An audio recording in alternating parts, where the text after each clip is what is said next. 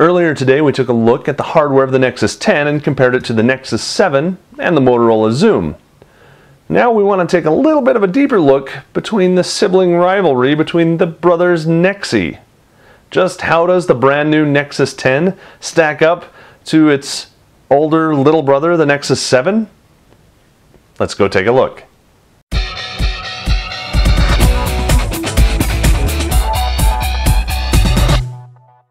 Let's start out by looking at build differences. The Nexus 7, as you might have guessed by its name, is a 7-inch tablet. It's 4.72 inches wide, 7.81 inches tall, and 0.41 inches thick, and it's designed to be held in portrait orientation.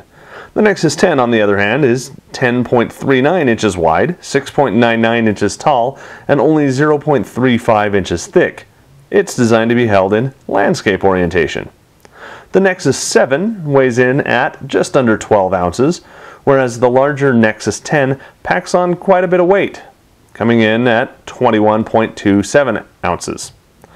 Both tablets are built extremely well, though many have complained about the cheap plastic feel of the plastic on the back of the Nexus 7. The Nexus 10 has a stripe of the same kind of stippled plastic running across the top, but the rest is made out of an amazingly grippy plastic it's going to help you keep a good grip on it. Both tablets feel solid and well built. Neither device has removable storage nor removable batteries, but the Nexus 10 resurrects the rear-facing camera, something that's missing on the Nexus 7. Let's take a look at the display. Adorning the front of the Nexus 10 is a beautiful 10.05 inch display running at 2560 by 1600 with a pixel density of 300 ppi. The Nexus 7 has a 7 inch display which runs at 1280 by 800 with a pixel density of around 216 ppi. Many have complained about the color saturation and sharpness on the Nexus 7. To those who feel this way, buy a Nexus 10 the screen is gorgeous. Let's talk benchmarks and performance. Powering the Nexus 10 is a 1.7 GHz dual-core Exynos 5 processor compared to a 1.2 quad-core Tegra 3 inside the Nexus 7. These two tablets are proof that more cores don't always equate to faster performance, though we are comparing Androids to oranges due to different speeds and processor architecture. What? We couldn't say apples here, could we? Anyway, how do they perform? Let's take a look at the benchmarks. Quadrant on the Nexus 7 scores 3583. On the Nexus 10, 4193. Antutu on the Nexus 7 scores 10,473, whereas the Nexus 10 comes in slower at 8817. This, we suspect, is because of the lack of quad core on the Nexus 10, showing that more cores may be better in some benchmarks.